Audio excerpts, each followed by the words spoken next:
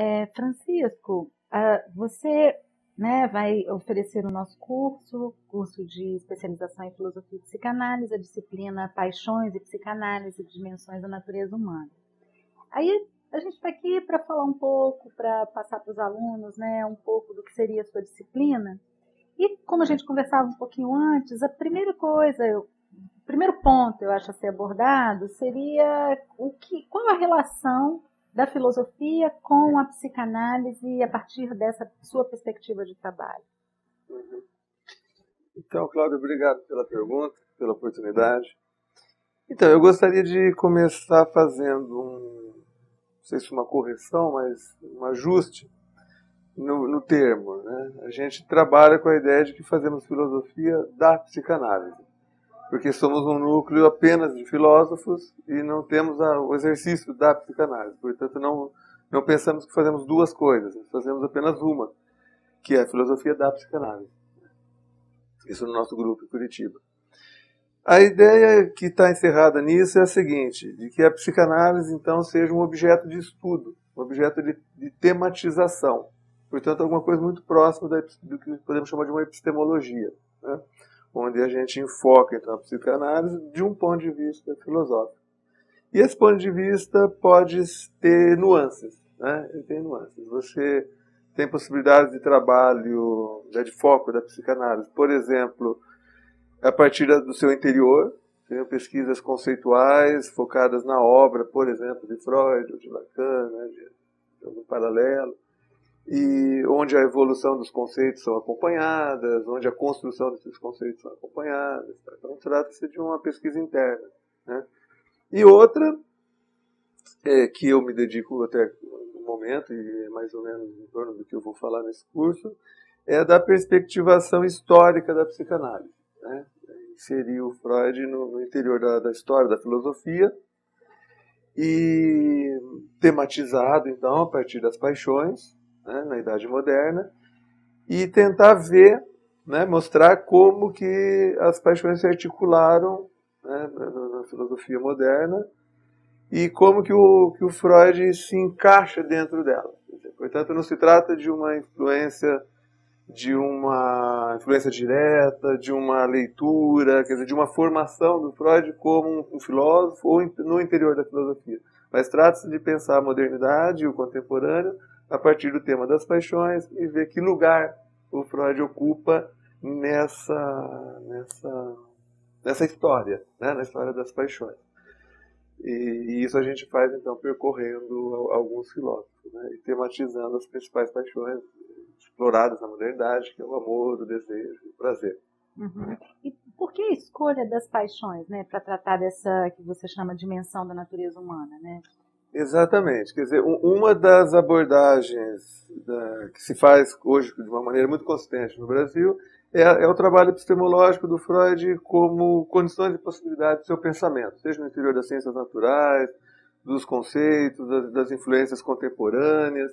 Então, isso é uma abordagem do Freud que é sincera, quer dizer, uma abordagem dele que dá muito resultado que é como cientista natural, vamos dizer, dentro do seu projeto, essa possibilidade de uma passagem para uma ciência humana e resgatar daí a originalidade dele, quer dizer, um sujeito que circulou entre essas, eh, essas modalidades de, de pensamento. Né?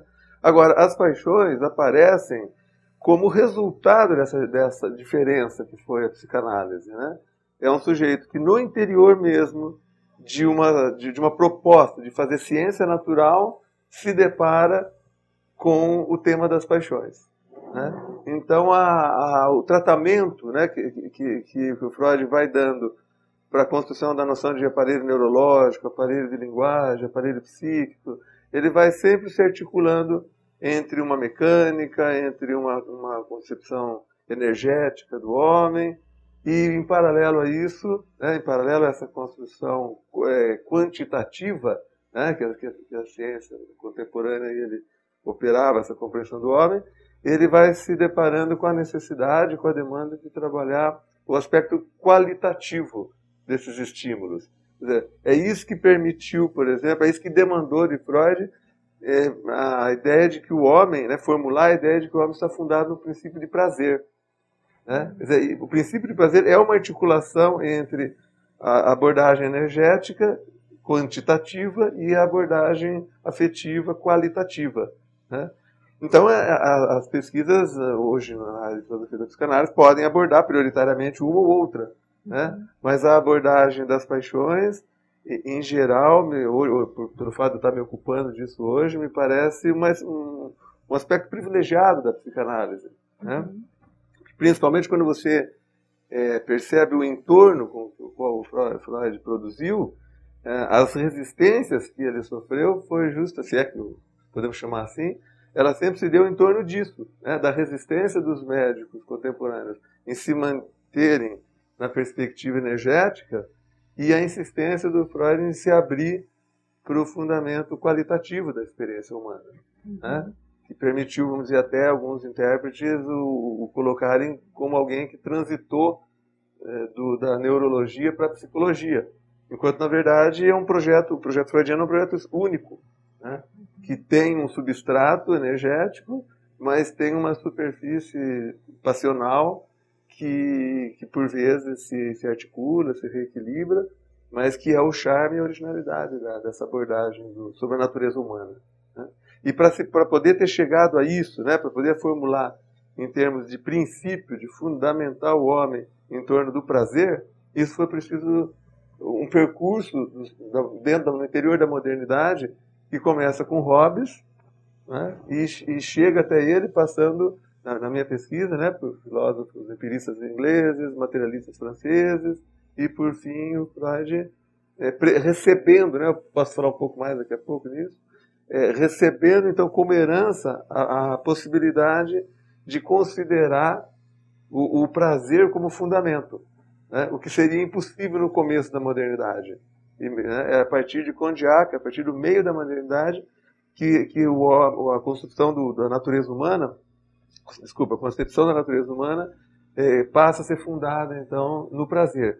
Né? E o desejo como consequência do prazer, e o amor como consequência do prazer, seguido do desejo e finalizado no amor. Né?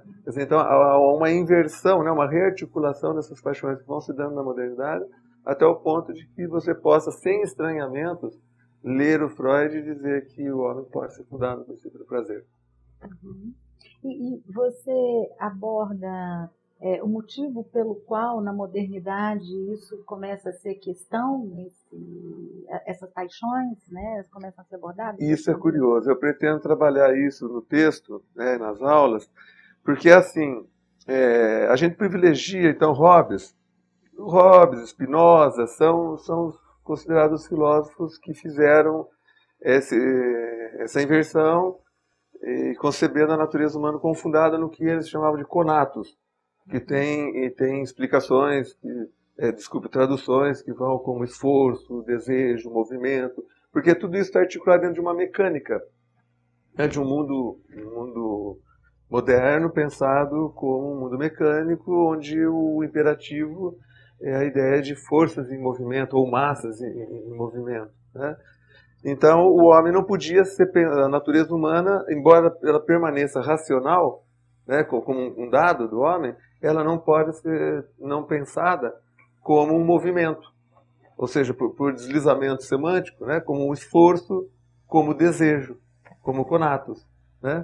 E curiosamente, ah, você vai encontrar agora vou falar um pouco mais de Hobbes você vai encontrar em toda a articulação da sua filosofia, que é, em última instância, uma filosofia política, né? e pelo método da época, né? pelo método moderno, o método de desconstrução, ele vai explicar, então, a, a sociedade, que na modernidade não é mais considerada como uma instituição natural, mas uma, uma instituição que precisa ser entendida, os seus processos de construção, e pelo método que ele adota, que ele próprio chama na obra do Cidadão, ele vai chamar de método do relojoeiro, que vai fazer a desconstrução das peças.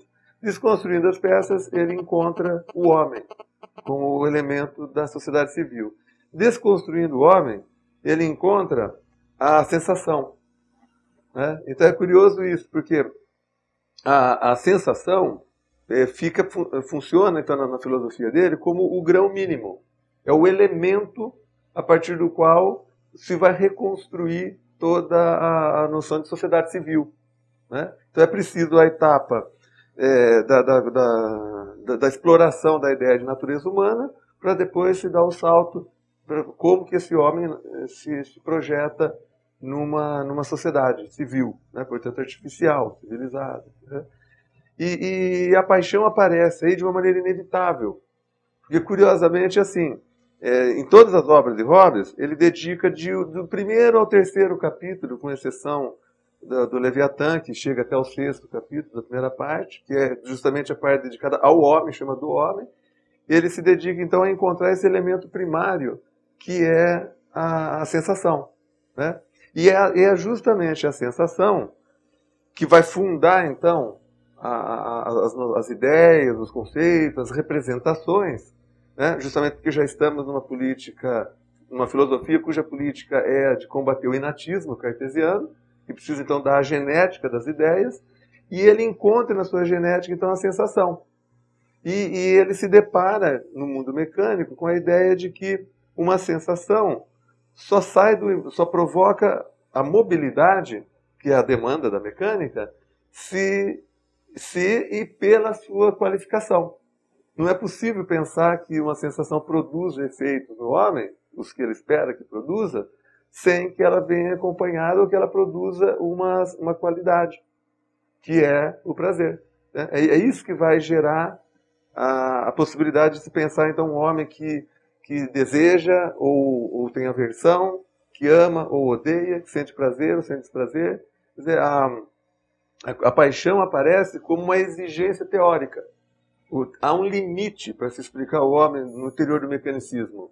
Você não tem, não tem muito fôlego para ir adiante nisso, né?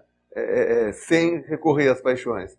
Então, curiosamente, a, toda a explicação do aparato racional do homem moderno fica, de fato, subjugado à possibilidade da explicação da, da, do, seu, do seu complemento passional. Né? Sem ele, você não chega à, à construção da racionalidade. Né?